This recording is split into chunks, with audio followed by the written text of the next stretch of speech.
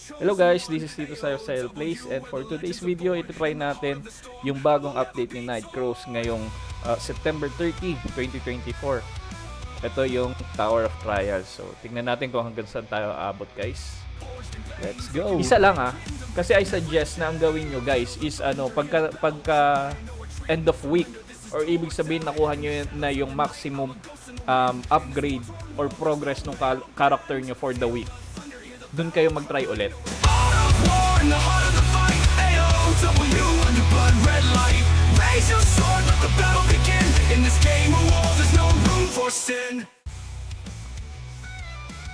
One F G First floor guys, let's go.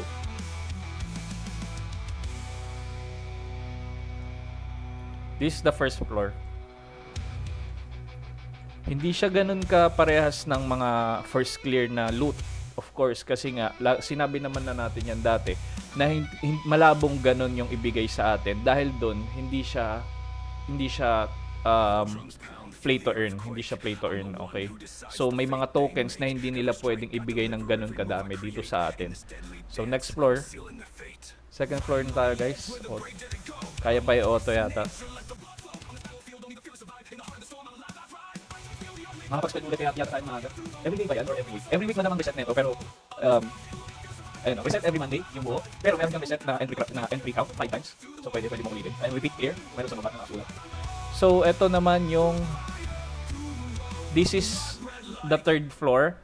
May mission tayong gagawin. Kailangan natin buksan yung mga ganito. So pag wala sa area mo, lipat tayo. Ayan. Kailangan natin maka 10 chest. 10 chest. Yan.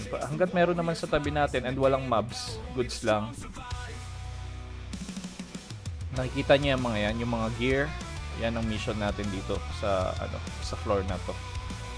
So, lakad-lakad lang kapag ka wala, wala sa area, lipat. Okay? Libre to, libre to na ano skill. Walang mobs, medyo swerte tayo doon. Tapos makikita nyo dito sa gilid, time trial. Every every stage is also a time trial.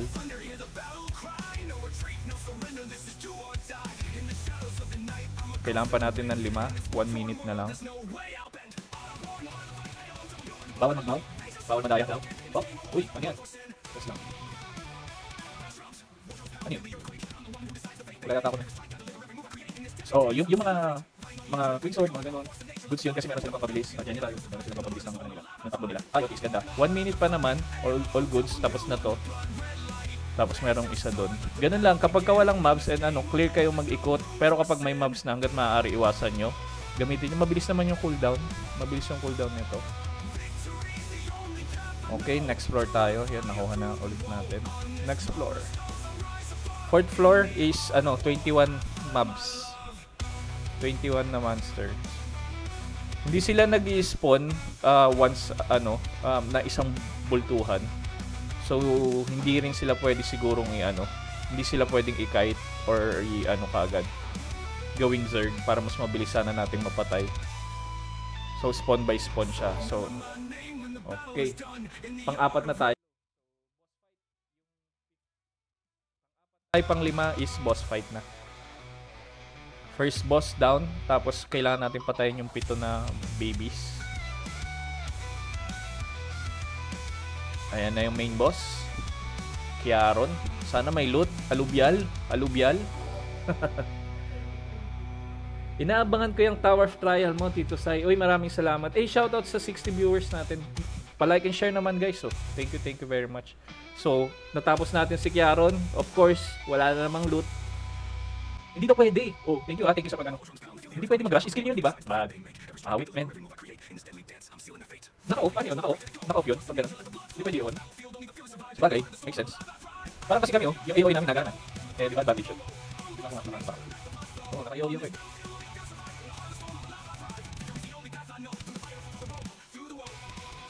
Huwag tayo mag-rush para talaga tayo. okay guys, pasok yung ano, um, pang 6 natin, going 7 na tayo. Tingnan natin kung hanggang saan tayo. Hindi pwede mapindot. Yung propel, yung propel.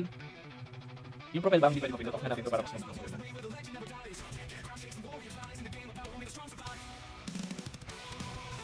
Mabagal guys kapag ganito natin sila. Mabagal din. So okay lang sila sa gitna siguro. Kasi hindi sila nag-spawn yung second batch. Until maubos mo yung batch na core. So useless yung ano, insert natin sila. Useless na insert. Ano na lang, goods lang yan na auto lang. Tamaan yung tamaan. Ang gusto ko rin malaman, kung magre-reset ba yung mana every time na ano, oh, yung ganda, testing natin, kung nagre-reset ba yung mana, every time na clear tayo ng, ano, ng round. no? Or ng floor. Check natin. So going floor 8 tayo, gagamitan natin ng ano? Gagamitan natin ng amplify. Op. Oy, eto na yung ano 5, yung ano 100 ano. Ay, bawal mag-skill, guys. Bawal mag-skill. Bawal mag-skill, oh. Bawal yung normal na skill natin. So, yung binigay nila na skill, yun lang gagamitin natin. Oh, spam malala. Okay. Okay, lapit kayo dito, guys. Come to Tito Sai. Come to Tito Sai. Hindi, akala ko, dadami yung AOE natin. Okay? Naglalag ka ata ng stream, Tito Sai. Naglalag ba, guys? Profile ng general naka-disable sa tower. Ang konti ng mobs, men. Saan tayo pupunta? Saan pa may mobs? Ito din yung skill ko. So, may ano talaga, may mga certain skills sa certain floors na hindi talaga natin magagamit yung mga skill natin. So, itong floor na to, ang pinapagamit lang sa atin is yung binigay niyang ano, yung Thunderbolt lang na libre. Yan, yung yung legit na Thunderbolt natin hindi pwedeng gamitin.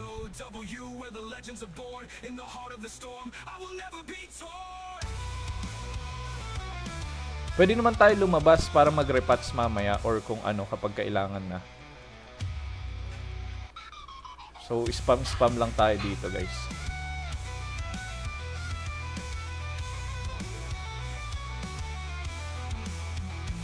Yung mobs na yung nawawala, nauubos. Dito, mukhang malaki. Eh, hindi, yun na yung room natin kanina. eh.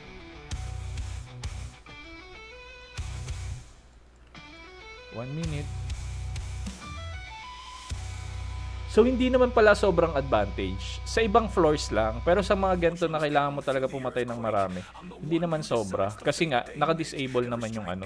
Naka-disable yung AOE. Yan. Goods tayo. Floor 9 yon Going floor 10 na tayo. Ano suggest mo sa cleric user? Okay yan, ano so, um, okay lang naman sa akin dito, wala nang lag. That's para sa mga cleric guys, patasin yung ano nyo, patasin yung PvE damage nyo. PvE damage, I think this is boss na ulit. Boss na naman to. Wala kang problema sa sustain eh. Pero nakita nyo naman, yung mga mga floor na kailangan talaga ng sobrang daming patayan, binibigyan naman nila tayo skill. So hindi naman ganun kasama, di ba? This is floor 9. Tignan natin kung aabot tayo sa ano. Aabot tayo sa 20 plus. Ang target natin na floor is at least ano, 25, 45, 35, 30. Una muna siguro 30. Try natin ng 30. Tapos, sana kayanin 35 kasi gusto ko to. Yung TV boost. Kaso, hindi natin. Naubos yung mana natin, naubos yung mana natin. Boss na ba na ba si Casey? Yan nga masakit brother, hindi pa rin natin alam. Pero kalaban namin sila mamaya. Sa, ano, kalaban namin sila sa World Dungeon na naman. Isipin yun, first time na mag-World Dungeon kami sila kalaban namin. Tapos ngayon ulit na naman. Sobrang lakas ng grip ni Nightcrow sa amin. Gigil na gigil si Nightcrow sa amin, guys. Parang masama yung loob niya sa 106. Guys, hindi nag-ano ah. For your information, hindi nagre-reset yung ano natin, yung mana natin. Um, interface. Interface. Hide all. Yan. Para makita nyo yung mana ko. Naka ano ako eh, naka what do you call this? Amplify. So mabilis maubos yung mana natin. Um, nag-regenerate na ako. Kaya nag, napuno ulit konti. Pero pagkatapos ng round na to, hindi po nagre nagre-regen yung mana natin. So, ano, spend wisely pagdating sa mana, guys. Kung mobs-mobs lang, wag na nating i-on yung amplify. Para sa mga mage dyan. Para na rin sa iba, sa mga ano, for example, yung mga mahina sa mana ngayon ang ano, ang ang sniper dahil yata dun sa skill nila na ano na pag nagsabay yung Duck of Breezes tsaka yung ano tsaka yung erosion malakas sa mana din yun. So hanggat maaari kung kaya wag muna kayo mag Duck of Breezes or yung isa wag niyo pagsabay. Pwede namang umuwi kung yung yun ang ano uh, tinatanong pwede daw pwede umuwi. So, itry muna natin. 11. Next floor. 11 ang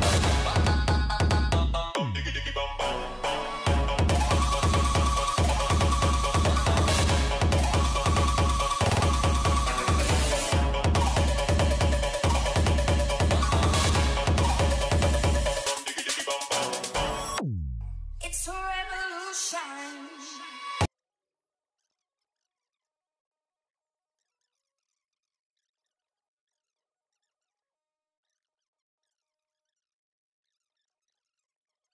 Times every entry. Tapos weekly ang ano niya, weekly ang overall reset niya. So boss fight ulit, mini boss si Felok.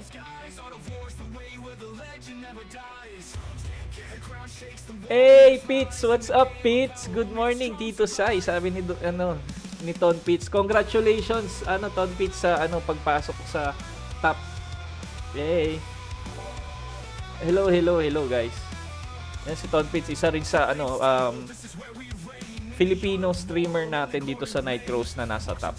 Yan, tropa natin yan. Nung ano pa lang kami, aspiring pa lang kaming mangupal sa taas ng ano.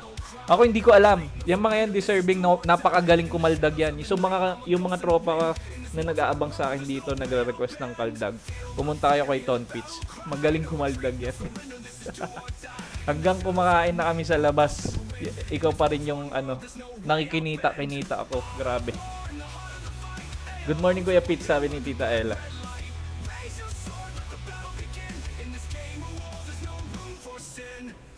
Thank you boss. Sana ah, sa inyo din po. Sana magkampi tayo.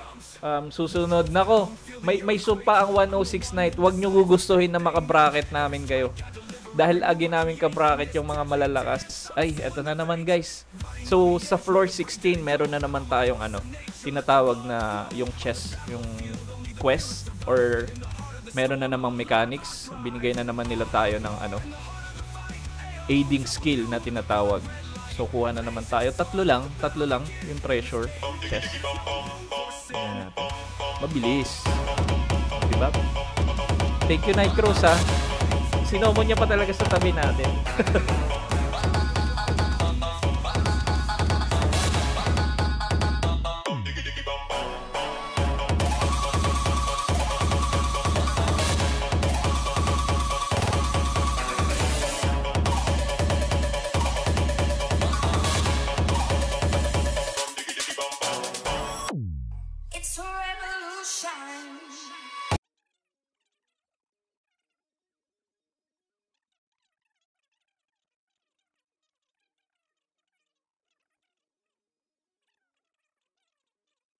Kasi I suggest na ang gawin nyo guys is ano, pagka, pagka end of week or ibig sabihin nakuha nyo na yung maximum um, upgrade or progress ng character nyo for the week. Doon kayo mag-try ulit. Diba? Kunyari, ngayong araw, this is um, Monday. Ngayong Monday, ang inabot nyo lang is floor 20. Huwag muna kayo magre-retry. Diba? Huwag muna kayo magre-retry. Mag-progress muna kayo until Sunday. Tapos, sa Sunday, mag-try kayo ulit i-try nyo ulit umangat. Then pag umangat na kayo, yung pinakasagad talaga sa Sunday or the last day of the week, dun kayo mag-retry. Dun nyo gamitin yung 5. So, pero for science, gagamitin natin yung isa. Dito sa paano ma-unlock yung pang-enhance ng cape? Kailangan natin siyang i-ano, um, i-activate mo muna. Wait, wait. Ito na guys, um, 19. Yung cape, uh, usapang cape,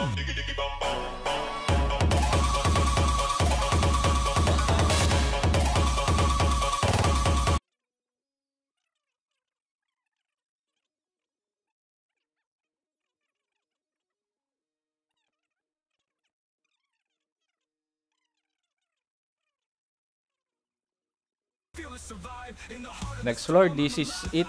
Ano na to? Floor 20 guys. Ayan na. Buhaya. Hindi tayo nakapag ano. Hindi naman pa kailangan yata. Safe pa tayo. Kaya pa natin i-burst nang hindi tayo nag-amplify.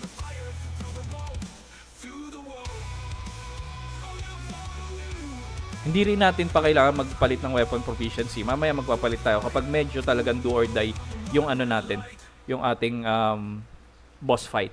Okay, kung kailangan natin ng more damage, uh, magpapalit tayo ng ano, ng weapon proficiency. So meron pa tayong konting bala.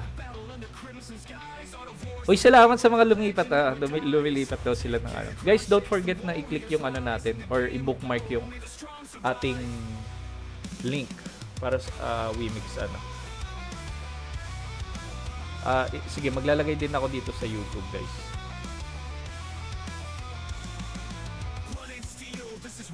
Yan, napin comment ko na siya. Maraming maraming salamat, guys.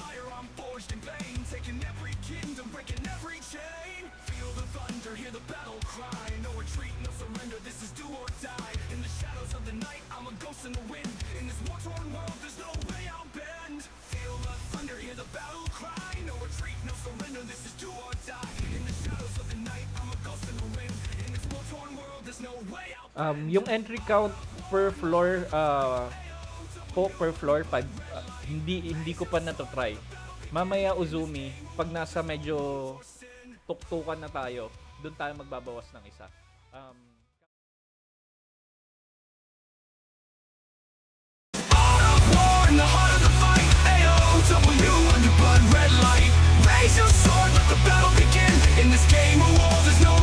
sin.